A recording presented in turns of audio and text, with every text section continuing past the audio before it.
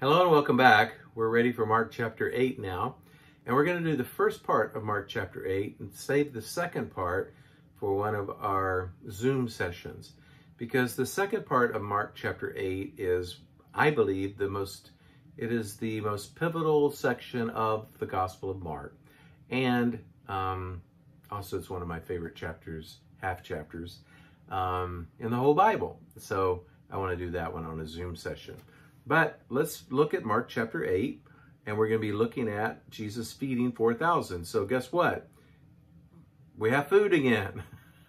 so we were all the way back to the feeding of the 5,000. We've had food except for one passage of scripture um, mentioned. So we're back to uh, talking about food again. In those days, a large crowd gathered once again, and they had nothing to eat. Jesus called his apprentices together and said to them, we're still in the Gentile section. So this is quite a ministry that Jesus has among the Gentiles here, often overlooked in our study of the Gospels. And as he fed the 5,000 men in the Jewish territory, now he's going to feed 4,000 uh, people in the Gentile territory. He says, I have compassion, that's my favorite word again, splanchnizomai, for the crowd, because they've already remained with me three days with nothing to eat. And it's a long time. If I sent them to their homes without eating, they will give out on the way. Some of them have come a long distance to be here. Now, in the feeding of the 5,000, it's the disciples that go to Jesus and say, we got a problem here. Um, we need to feed these people. And Jesus says, fix it. And they say, well, give us some money. And Jesus said, well, check your resources. So now Jesus is bringing up the problem to them. And he says, we, we have a problem here. We got all these people and they're about to drop because they've had nothing to eat. But look at how the disciples respond. His disciples answered him, where could anyone find enough bread in this isolated area to feed all these people? Seriously, disciples? Seriously? You forgot about the feeding of the 5,000 men and uh, beside the women and the children that were with them? Maybe 10, 15,000 people. Seriously? You held the baskets right there. There were 12 baskets and there's 12 of you. Um, Jesus basically brings up the same problem that you brought up before. And your answer isn't, well, let's go check and see how much food is there because Jesus can fix this. Instead, they're like, oh, we'll never find enough bread to feed these people. And Jesus asks them, how much bread do you have? So he brings it up. Okay, show me what you got. Show me your resources. Show me what you got. And they say seven loaves. Jesus directed the crowd to sit on the ground. He took the seven loaves and gave thanks. He broke the bread and gave it to his apprentices so that they might distribute it to the people. The apprentices distributed the bread to the crowd. They also had a few fish. After he blessed the fish, he directed his apprentices to distribute them. The people ate and were satisfied. Notice again that word satisfied. They ate and they were satisfied with what they ate because Jesus wants people to be whole and satisfied. They picked up seven large baskets of what remained of the broken pieces. The different word is used for basket here than in the earlier feeding. That was the a smaller basket uh, of Jewish origin. This is a larger basket of Gentile Roman origin um, I think, um, yeah, 50 loaves could have been held in each of those baskets. And so seven large baskets, 50 loaves, it's 350 loaves that are left over. There were approximately 4,000 people in the crowd. After feeding them, Jesus dismissed them. He embarked in the boat with his apprentices and came to the region of Dalmanutha. So we have here the same, basically the same miracle, only this time Jesus brings up the problem, waits for his disciples to bring up a solution. They don't, so he brings up the solution himself. Um, again, we've we've we've had this theme of bread um, for a couple of chapters now, and they still don't get it. The disciples still do not understand who Jesus is which leads us into chapter 8, and Jesus is going to start being even more specific with them about who he is. Now, look at the Pharisees next.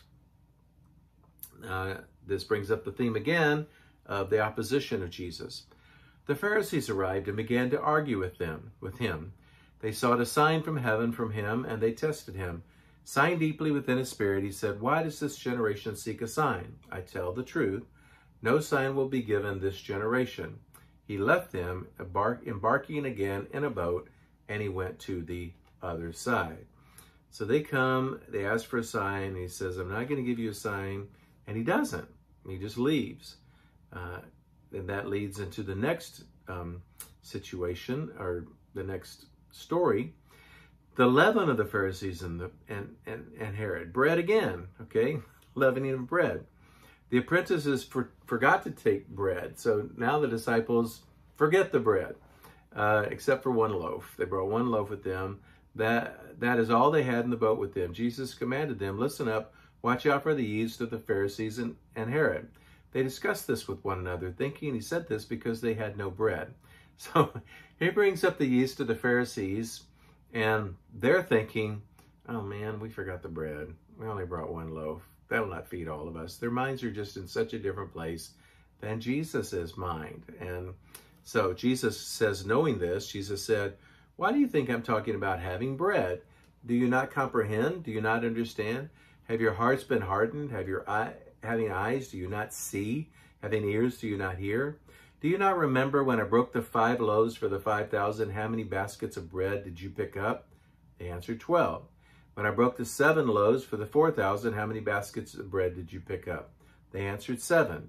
He said to them, do you not yet understand? So, and he doesn't go any farther than that, except the next stories will. I mean, Mark is doing an excellent job of putting these stories side by side to get to the point now where Jesus is really going to explain himself to his disciples. They haven't gotten it. For um, a chapter and a half now, maybe two chapters, they haven't gotten it. They just misunderstood Jesus. They've held the basket of bread in their hands. They didn't get it. Um, they um, are, are, faced with um, needing to feed more people. They still don't get it. Jesus brings up leaven, and they're thinking about bread instead of the yeast of the Pharisees. And so Jesus is going to take some time now, and he's just going to focus on really explaining to them who he is. And that leads us to the next section of Mark. And this is a beautiful section, Mark, the second half of 8, chapters 9 and 10. It begins with a blind man, the blind man of Bethsaida, and it's going to end with blind Bartimaeus. And in between, Jesus is going to do his best to help his disciples see him as he really is and get over their blindness. And that's what we'll be looking at next when we're together on a Zoom session. We'll be looking at this part of Mark, really focusing in on what Mark is going to do in 8, 9, and 10 to help the disciples, um, what Jesus is going to do, rather. Mark's going to show us what Jesus is going to do to help the disciples to understand who he is. I would like to leave you with one thought, and that is I think at times in our own lives we can be spiritually dull. That's what was happening with the disciples here. They were they were just spiritually dull. They didn't see as they should have seen. And think of things that you can do to um, not be dull spiritually, but to be sharp spiritually. Things that can help your focus and help your understanding and help you gain insight from Jesus. For me, it's Bible study. When I'm in my Bible and I'm studying my Bible, I do well spiritually. Um, and that's the thing that feeds me the most. But for different people, it's different things. Find what it is for you and really feed your spirit, feed your soul. Thank you.